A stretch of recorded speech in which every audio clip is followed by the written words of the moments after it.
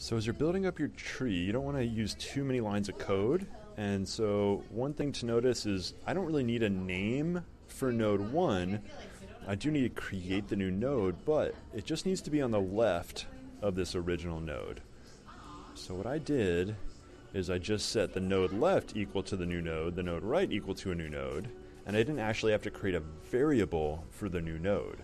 It's not going to disappear because the left and the right of the original node are storing these new nodes.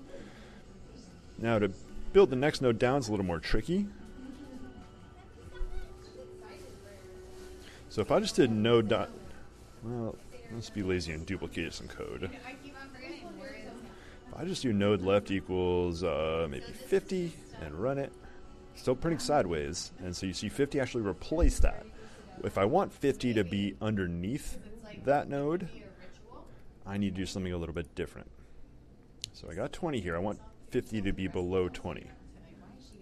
So no dot left dot left, and then run that. And now you can see to the left of 20 is 50. And I could no dot left dot right equals, and you'll see the 50 move a little bit right there. All right, this is how you should be building your tree up. And if I did want to go node dot left dot left equals 70. There we go. So this is how you should be building up your tree to print different shaped trees. I'm not going to give you more hints than this, uh, but you can build different trees. And I probably should call this now a tree. It's, it is a node, but uh, let me just call this I'm going to build multiple ones, so I'll call this one node 1, and then for my second tree, I'll call this tree 1.